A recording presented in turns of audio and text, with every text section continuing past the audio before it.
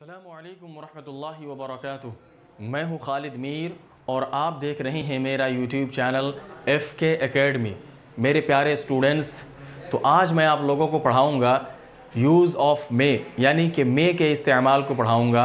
कि सेंटेंसेस में मे को कैसे यूज़ करते हैं, इसके ज़रिए से जुमले यानी सेंटेंसेस कैसे बनाए जाते हैं। इससे पहले के सबक को शुरू करें। मेरी आपसे एक छोटी सी दरख्वास्त है कि अगर आप मुझे यूट्यूब पर देख रहे हैं तो आपसे मेरी दरख्वास्त है कि आप मेरे चैनल को सब्सक्राइब करें लाइक करें और बेल आइकन को भी दबा दें ताकि आने वाली मज़ीद वीडियोज़ आप तक आसानी के साथ पहुँच सके।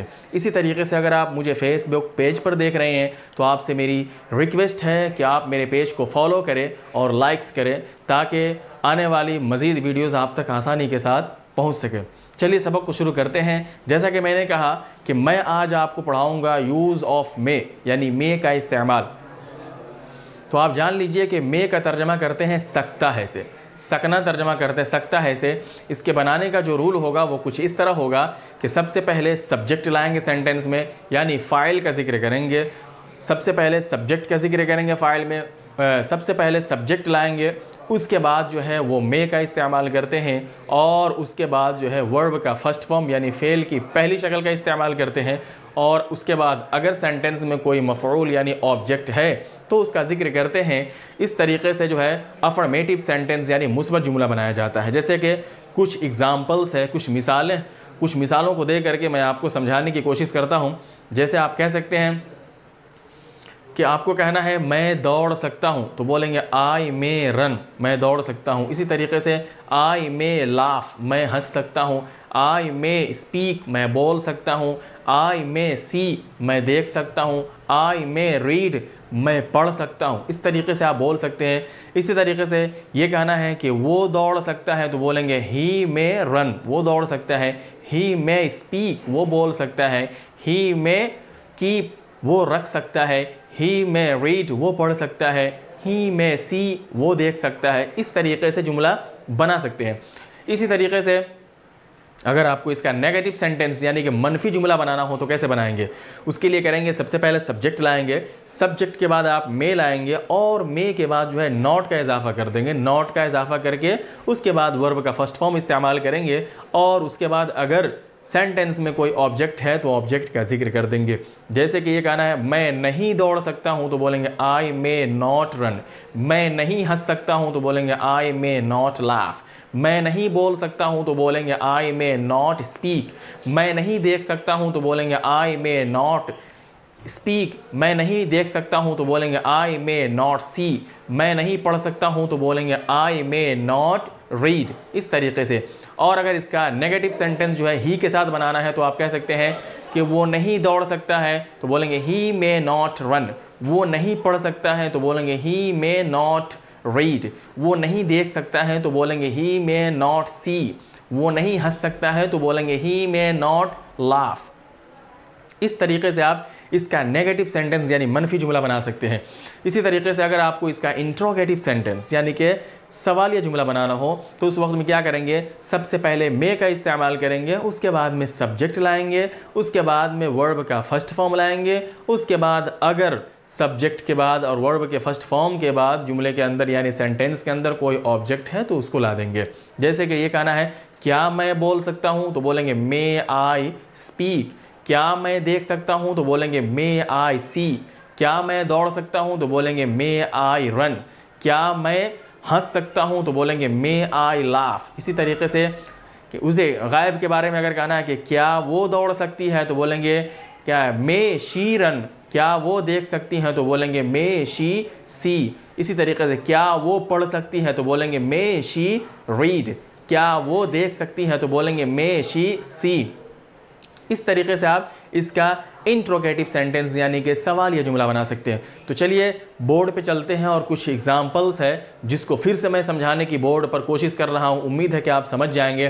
तो देखिए, मैंने लिखा है यूज़ ऑफ़ मे ये लिखा हुआ है यूज़ ऑफ़ मे जिसका तर्जमा होगा मे का इस्तेमाल यूज़ ऑफ़ मे मे का इस्तेमाल, जिसका जो है उर्दू में तर्जमा इस तरह करते हैं, जो जुमले के अंदर जो उसकी पहचान होती है, वो सकता है की पहचान होती है, कि इसका तर्जमा सकता है से करते हैं। और इसको मैंने बनाया कि सबसे पहले आपको बताया कि अफर्मेटिव सेंटेंस बनाने के लिए सबसे पहले सब्जेक्ट का इस्तेमाल करेंगे, उसके बाद में क्या इस्तेमाल करेंगे? मे का इस्तेमाल करेंगे, उसके बाद वर्ब का फ़र्स्ट फॉर्म इस्तेमाल करेंगे। तो ये देखिए, ये इस जुमले के अंदर सब्जेक्ट है, ये इस जुमले के अंदर जो है वो मे है, जिसको मॉडल बोलते हैं, और ये वर्ब का फ़र्स्ट फॉर्म है। ठीक है? Subject I we you he she they it जो है, ये सब्जेक्ट बनता है किसी भी सेंटेंस के अंदर, उसी के अंदर से ये ही है सब्जेक्ट है, जिसका मीनिंग होता है वो। और ये मे मॉडल है, जिसका मीनिंग होगा सकता है और टू कम इन मतलब होता है अंदर आना। ये अफर्मेटिव सेंटेंस यानी मुस्बत जुमला है। इसका तर्जमा करेंगे। ही मे कम इन वो अंदर आ सकता है। ही मे कम इन वो अंदर आ सकता है। वो अंदर आ सकता है। ही मे कम इन वो अंदर आ सकता है। उसके बाद में दूसरा सेंटेंस है why may you not speak English इसके अंदर देखिए, ये वाई है जिसको इंग्लिश के अंदर डब्ल्यू एच फैमिली बोलते हैं। ये मे मॉडल है, जो मैंने अभी आपको बताया। ये यू जो है, ये सब्जेक्ट है। उसके बाद में ये नॉट है नेगेटिव वर्ड है। टू स्पीक मीन्स होता है बोलना, और इंग्लिश जो है, ये इसका ऑब्जेक्ट है। तो आप ये आप ये कह सकते हैं why may you not speak English का तर्जमा होगा। आप इंग्लिश क्यों नहीं बोल सकते? Why may you not speak English आप इंग्लिश क्यों नहीं बोल सकते हैं? इसके अंदर देखिए, सबसे पहले डब्ल्यू एच फैमिली लाया है उसके बाद में जो है, ये मॉडल लाया है, यानी मेल आया है, उसके बाद में सब्जेक्ट है, उसके बाद में नेगेटिव वर्ड है, उसके बाद में वर्ब का फ़र्स्ट फॉर्म है, उसके बाद में ऑब्जेक्ट है। Why may you not speak English का मतलब होगा, आप इंग्लिश क्यों नहीं बोल सकते हैं? उसके बाद में तीसरा वर्ड है कि ये इंट्रोगेटिव सेंटेंस है। क्या है ये? इंट्रोगेटिव सेंटेंस है। आपको पता है कि मैंने बताया है कि सबसे पहले इंट्रोगेटिव सेंटेंस में सब्जेक्ट से पहले जो है वो मॉडल यानी मे का इस्तेमाल करेंगे, उसके बाद सब्जेक्ट लाएँगे, उसके बाद में वर्ब का फ़र्स्ट फॉर्म लाएँगे। तो यहाँ पे देखिए, ये मे जो है मॉडल है, जो सबसे पहले इस्तेमाल हो रहा है, उसके बाद में सब्जेक्ट है, उसके बाद में वर्ब का फ़र्स्ट फॉर्म है। तर्जमा करेंगे मे आई सिट हेयर क्या मैं यहाँ बैठ सकता हूँ? मे आई सिट हेयर क्या मैं यहाँ बैठ सकता हूँ? यहाँ देखिए, ये जो है इंट्रोगेटिव सेंटेंस यानी सवाल या जुमला है, और इसके अंदर परमिशन भी लिया जा रहा है। यानी कि ये कहना चाह रहा है कि मे का इस्तेमाल परमिशन के लिए भी होता है, मे का इस्तेमाल परमिशन के लिए भी होता है। जैसा कि आप यहाँ देख सकते हैं मे आई सिट हेयर क्या मैं यहाँ बैठ सकता हूँ?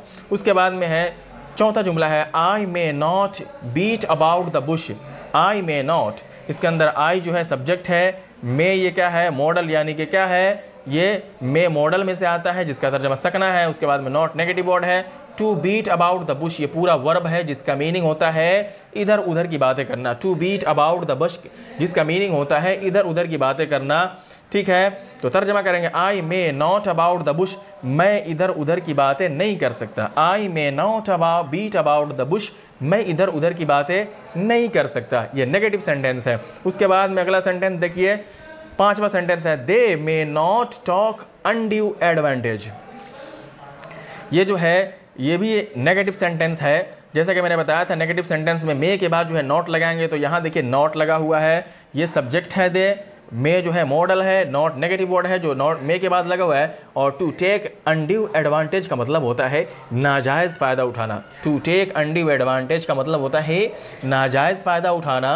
ये आपका एक मुस्तकिल, एक वर्ब यानी फेल है। ठीक है? अब तर्जमा करेंगे they may now take undue advantage कि वो लोग नाजायज़ फ़ायदा नहीं उठा सकते। दे मे नॉट वो लोग नहीं उठा सकते। टेक अनड्यू एडवांटेज क्या नाजायज़ फ़ायदा? ये नेगेटिव सेंटेंस है, जैसा कि आपको समझ में आ रहा होगा। उसके बाद में जो है, छठे नंबर का सेंटेंस है I may not show undue favour to you ये भी जो है नेगेटिव सेंटेंस है, यानी कि मे के बाद नॉट का इस्तेमाल करके नेगेटिव सेंटेंस बनाया है। यहाँ पे ये आई सब्जेक्ट है मे क्या है मॉडल है नॉट नेगेटिव वर्ड है।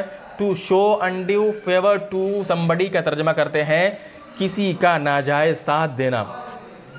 To show undue favour to somebody का तर्जमा करते हैं, किसी का नाजायज़ साथ देना।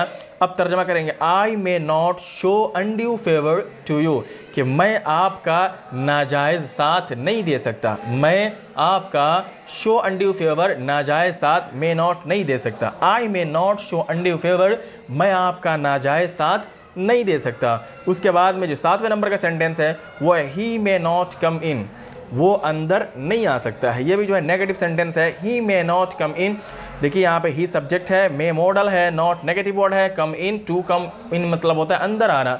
टू कम इन मतलब होता है अंदर आना। तर्जमा करेंगे ही मे नॉट कम इन वो अंदर नहीं आ सकता है। तो यहाँ पे देखिए ही के बाद मे है, मे के बाद जो है वो नॉट नेगेटिव वर्ड आया है नेगेटिव सेंटेंस बनाने के लिए। उसके बाद में लास्ट यानी आठवें नंबर का जो सेंटेंस है वो है इंट्रोगेटिव सेंटेंस यानी सवालिया जुमला कैसे बनाते हैं? जैसे कि मैंने कहा कि सबसे पहले जो है, मे को ज़िक्र करेंगे, उसके बाद में सब्जेक्ट उसके बाद में वर्ब का फ़र्स्ट फॉर्म लाएँगे। तो देखिए यहाँ पे मे को सबसे पहले ज़िक्र किए हैं, उसके बाद में ये जो है ही है, ये सेंटेंस है, ये ये ही जो है, ये सब्जेक्ट है, उसके बाद में टू कम इन मतलब होता है, अंदर आना, ये वर्ब का फ़र्स्ट फॉर्म है। तर्जमा करेंगे मी ही मैं ही कम इन, क्या वो अंदर आ सकता है? मे ही कम इन, क्या वो अंदर आ सकता है? ये मे मे क्या हो गया? ये मॉडल है और ही जो है सब्जेक्ट है और उसके बाद में कम इन टू कम इन मतलब होता है अंदर आना। ये इंट्रोगेटिव सेंटेंस है क्योंकि सब्जेक्ट से पहले मे का इस्तेमाल किया और आप याद रखिए कि कभी कभी जो है मे का इस्तेमाल परमिशन के लिए भी होता है। जैसे कि आप सुनते हैं स्कूल वगैरह में या ऑफ़िस वगैरह में जब परमिशन लेते तो बोलते हैं मे आई कम इन सर बोला जाता है जवाब में यस कम इन ठीक है? तो मे का इस्तेमाल परमिशन के लिए भी होता है।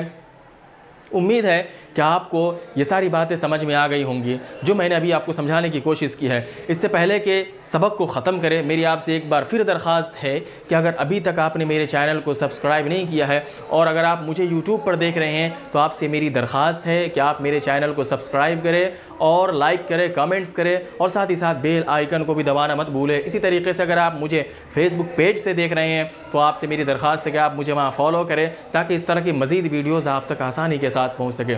चलिए फिर अगली वीडियो में अगले लेसन के साथ मिलते हैं। जब तक के लिए अल्लाह हाफिज़। अल्लाम वरहमल वर्का